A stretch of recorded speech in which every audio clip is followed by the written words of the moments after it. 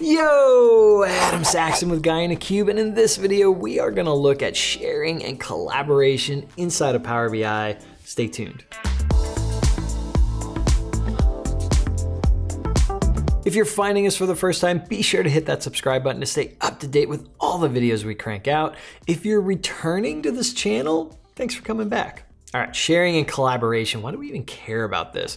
Well, Power BI itself, the, the service is a platform that allows you to share, collaborate, distribute your reports to other users, right? Because it's not just you that's wanting to look at these awesome reports that you make. Other users want to get insights to this data as well.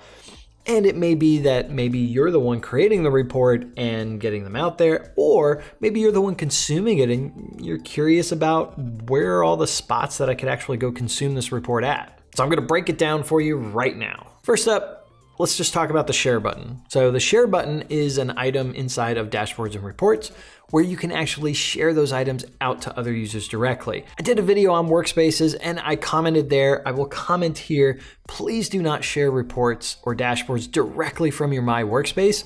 Do it from an app workspace. The last thing that we want is interruption to business if something happens and we can't get to the My Workspace to update those reports when they're needed. So just do it from your app workspace. If you don't have any idea what I'm talking about, I've got a video linked here to go check out workspaces so you can figure out what that is about. But yeah, you can hit that share button from both dashboards and reports and share those out to either users or groups or whatever I would argue that sharing a dashboard and a report may be great for like a one-off or hey, you want to just give this to one person.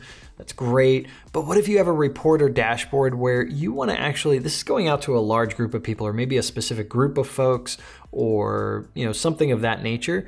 I would recommend using an app. And so you can publish that app from the app workspace and you can give access to users and groups and other things of that nature to where they can get access to that app. So what an app is is just a read only kind of window into those dashboards and reports that are inside of an app workspace. So I don't need to give all these people access, direct access to the app workspace. I can give them access to the app and then they can go consume the content that they are interested in. Also, those apps will go into a nice, neat area off on their own and they won't be cluttered around uh, with other shared items or within your personal workspace items or app workspaces.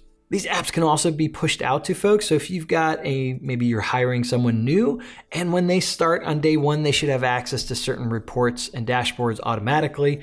That app can be pushed out to certain security groups so that when they start their day, they just have access to those items and don't have to hunt around for it, which is cool. Both of the items I mentioned, sharing dashboards and reports and apps, giving people access to those apps, well, that's great for inside my organization, but what if I want to share these out with other folks? Maybe I'm collaborating with another organization, maybe it's a vendor, partner, or you know, maybe I've got a consultant I'm working with. What if they need to have access to some of these reports as well? Well, you can share these items or you can give access to items to folks that are external of your organization.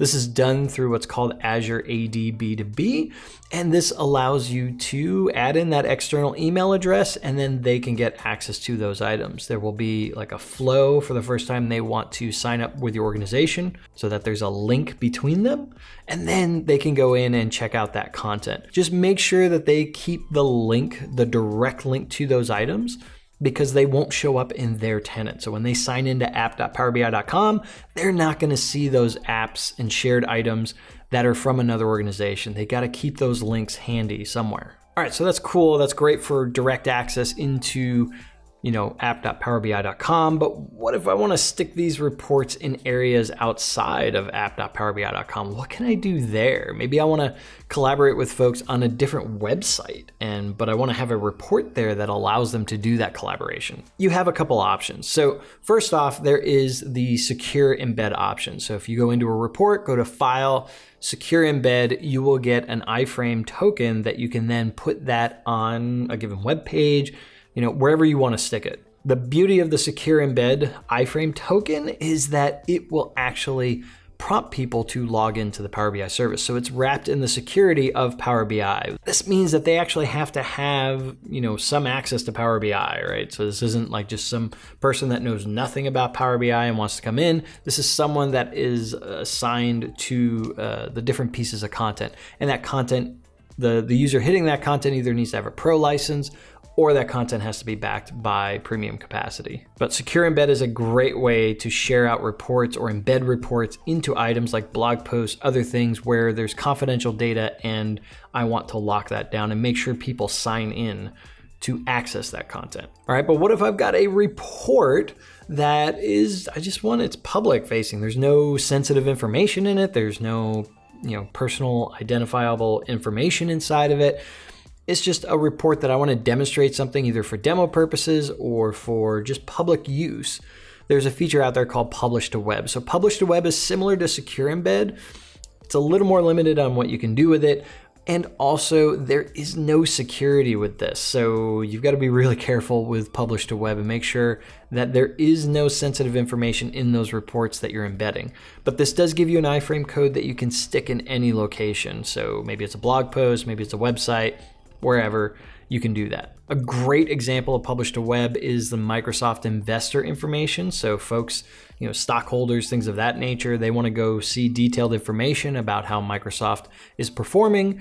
The investor section of Microsoft.com has actually published to web reports from Power BI inside of it. Now, if your company is using SharePoint Online, there's also the Power BI web part for SharePoint Online. So this allows you to embed a report inside of your SharePoint page that's inside of your SharePoint infrastructure itself. So this is great because you can add other things from a SharePoint perspective and have the report alongside of it. So it's really helpful from a collaboration perspective if you're doing those type of items inside of SharePoint itself. And then if you want to go full tilt and want to use reports in an application and or with folks that know nothing about Power BI and you want to control the security experience and everything about that, Power BI Embedded is the answer for you. So this allows you full control to embed reports, dashboards, tiles, visuals, whatever you want into your application in whatever way that you want. So you have full control from an API perspective through the JavaScript APIs and the REST APIs. You can customize how these visuals look, how they interact, everything about it. It's very cool. Does require some developer knowledge, so you're gonna have to write some code if you wanna go down that road, but it gives you the full flexibility to include those reports, dashboards, tiles, visuals, alongside of elements inside of your application and to keep relevance to those items.